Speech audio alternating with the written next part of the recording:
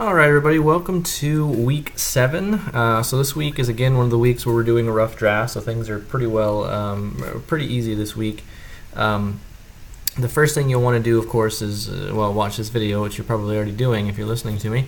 Uh, but after that, go ahead and uh, take a look at the peer review questions again. Um, be the same questions. The only thing that's going to change this time, as with last time, is now you're going to be focusing on writing project three.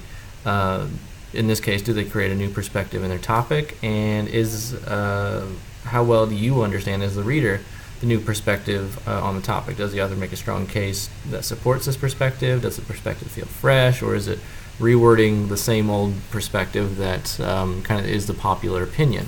So those are the only two questions that really change. The rest of these questions, uh, one through thirteen, still kind of apply to the same essay, so or to the to the writing format and the writing style and the, the overall writing skill. So you can still use the rest of those questions.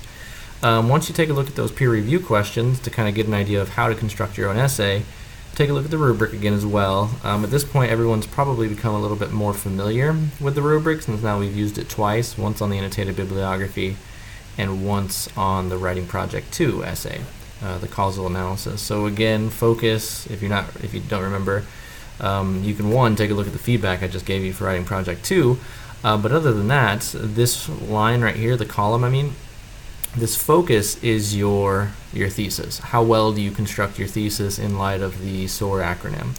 Content is how well you use your in-text citations, you digest your quotes and your paraphrases, and you overall how well you construct the overall quality of your um, of your content. Uh, that would be the body paragraphs as the content. Organization, that's your uh, introductory paragraph, your conclusion paragraph, and your overall structure of the essay. Uh, basically, do you follow the structure uh, that I give you, or do you use your own? And is that is your your customized uh, structure is that effective um, in achieving the purpose that we're trying to achieve? Which in this case is is just proving your point as compared to the uh, popular opinion. The expression is your word choice. Um, big thing that a lot of people lose points for here is using personal pronouns. So don't use words like I, me, my, our, us, those words. Use um, third person words like uh, the individual or this person or uh, one, as in like one might think or something like that.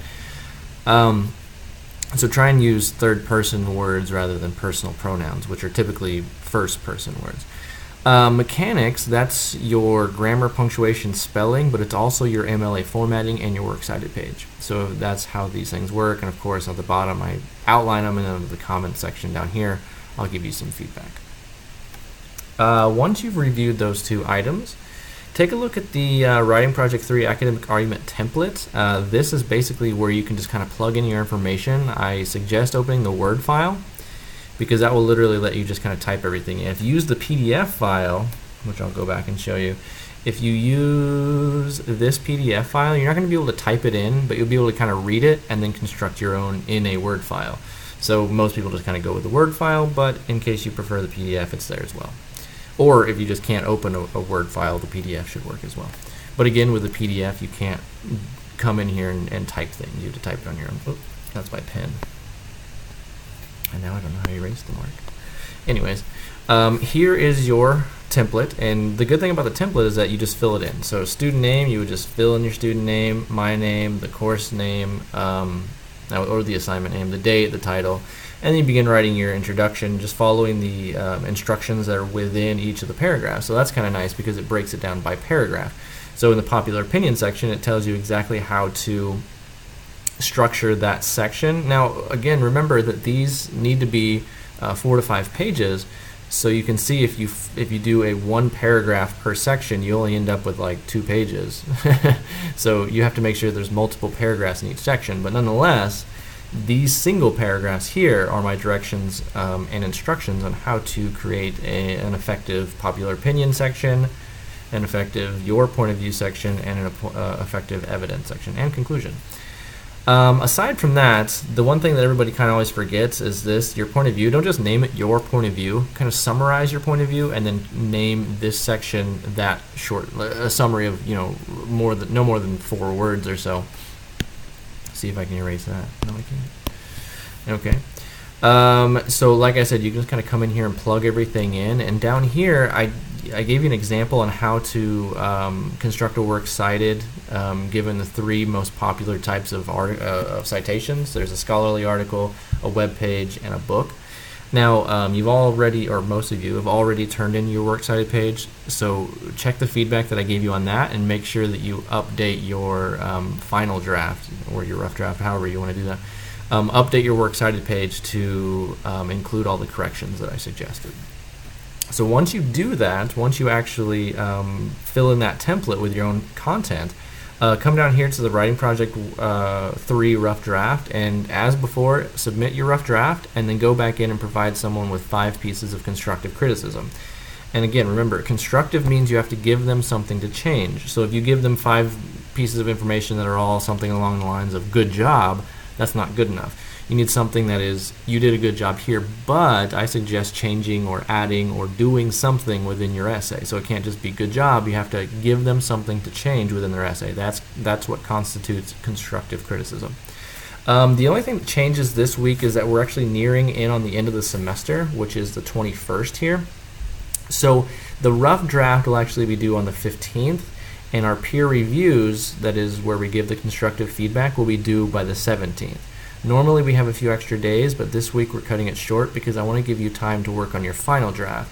So the way that the schedule will work is today is the seventh, uh, the 10th, excuse me.